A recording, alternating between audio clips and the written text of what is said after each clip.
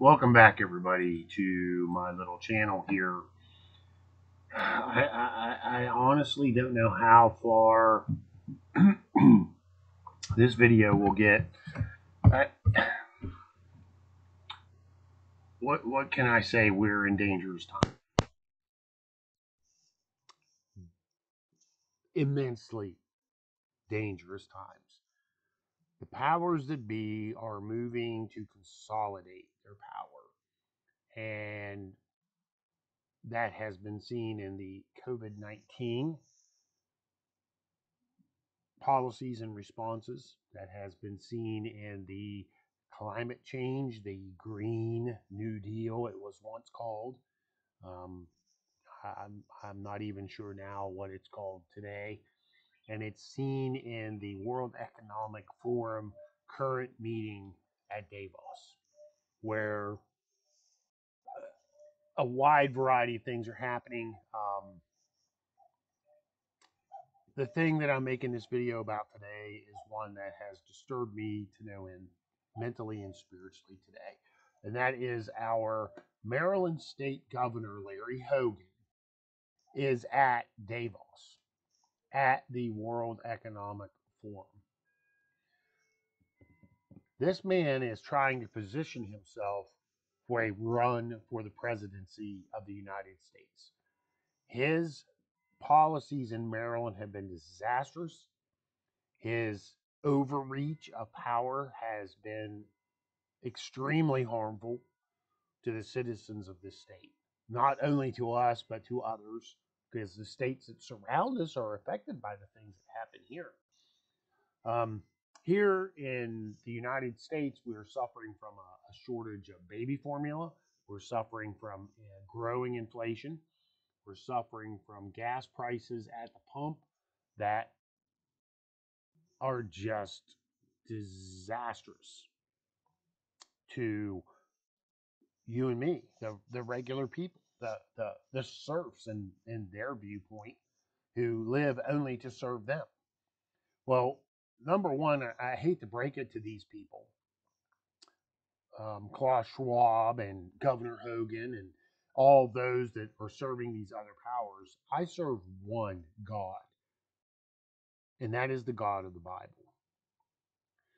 But here we have Governor Hogan openly announcing that he is at, he is at the World Economic Forum. In Davos. He does not serve you. He does not serve the citizens of the state. He does not serve anybody but his overlords, who are evil. Period. I, I, I can't say it any other way. Their plans, which are open mean, this is their website. Go look at their website, people. They're not hiding what they're doing.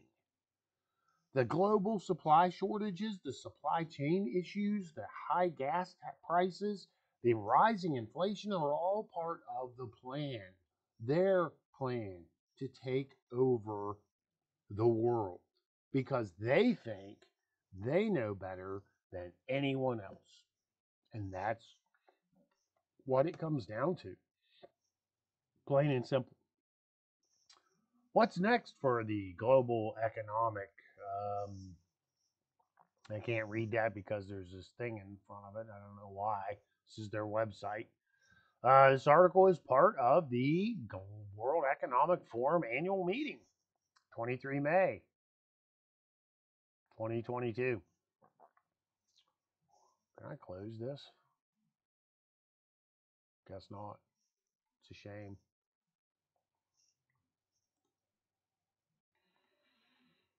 So what they see is basically this that our world is going to break down into these four separate categories right here. This is what they want. Scenario number one, the globalization 5.0 reconnection, which is where they take over everything. Everything and all these food shortages and grain shortages, all this pandemic response, this this these financial crises, They're all planned to lead us to this, to this scenario number one. They don't want us going to scenario three or four or two. They want us going to number one where they're in control. And that's what the ultimate goal is. And my warning to you today is that you think you can escape this. You cannot. You think you can have your little prepper community. They'll come for you. You think you can have your little area in the woods where you'll just survive by yourself. No one can stand alone against this. You can have your bunker in your backyard, you can have your MRE set up, you can have whatever. They will come for you. Unless we tie ourselves together, bind ourselves together against this evil, they will come for us individually and they will take us. Make no mistake about it. They've done it before, they'll do it again. That's one of the things that annoys me about the whole prepper community is they think that just, you know, by prepping, by having their own food supply, by having their stockpiled fuel, they can get through this. They can't. They'll come for it. They'll come for your food. They'll come for your fuel. They'll come for you because you won't bow the knee to the Antichrist who's already in existence. Make no mistake about that either. This isn't some futuristic thing where there's going to be a secret rapture and the Christians are going to be removed from all this. That's not what the Bible teaches. the Bible teaches that this power is going to grow until Jesus Christ himself takes it down. Now, how does he do that? By the power of the sword that comes out of his mouth and defeats them ministers, elders in the church, you better be paying attention to this and you better be speaking to it. Because it's your duty to warn the people. There is one king, there is one Lord, the Lord Jesus Christ. It's not Klaus Schwab, it's not the World Economic Forum, it's not the UN. But you know what? The church has been infected, the church has been infiltrated and weakened to such a degree that these people feel empowered. There's only one power that stands against this, and that's Christianity. All the others have been subsumed to serve their purpose or created to serve their purpose. Read Revelation again.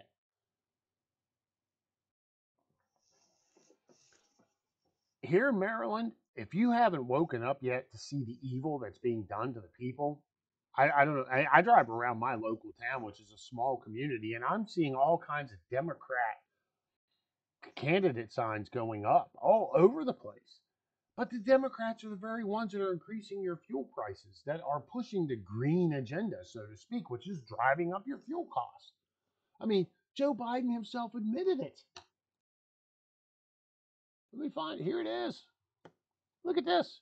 Listen to him. And when it comes to the gas prices, uh, we're going through an incredible transition that is taking place that God willing, when it's over, will be stronger and the world will be stronger and less reliant on fossil fuels when this is over.